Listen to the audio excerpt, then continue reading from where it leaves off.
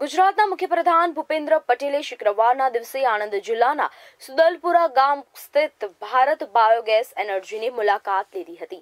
આ પ્રસંગે તેમની સાથે જિલ્લા સાંસદ મિતેશ પટેલ, જિલ્લા કલેક્ટર અને પોલીસ વડા અજીત રાજિયાન પણ હાજર રહ્યા હતા.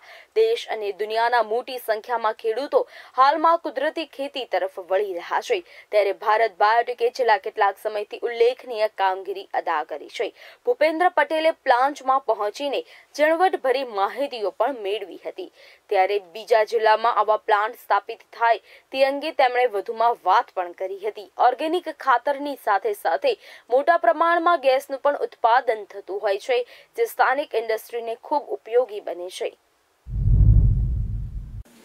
સીએમ સાહેબ એટલા માટે પધાર્યા કે એમનું એક વિઝન અને મિશન છે કે ગુજરાતને આપણે ઓર્ગેનિક પ્રાકૃતિક બનાવીએ. એટલે આ પ્લાન્ટ ઉપર ગ્રીન એનર્જી પેદા થાય છે અને ઓર્ગેનિક ફર્ટિલાઇઝર પેદા થાય છે. તો સાહેબ, એ વિઝનથી આવ્યા હતા કે ગુજરાતમાં આપણે આવા કેટલા પ્લાન્ટ કરી શકીએ.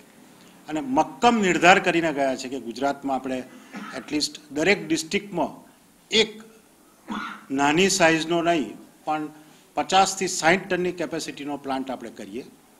એમનું પોતાનું વિઝન તો એવું હતું કે પચાસ સિત્તેર ગામડા વચ્ચે નાનો પ્લાન્ટ કરીએ, બધાને ગેસ મળે, રાંધણ ગેસ મળે, પોલ્યુશન અટકે અને રોજી રોટી પણ ફાર્મરોને મળી શકે.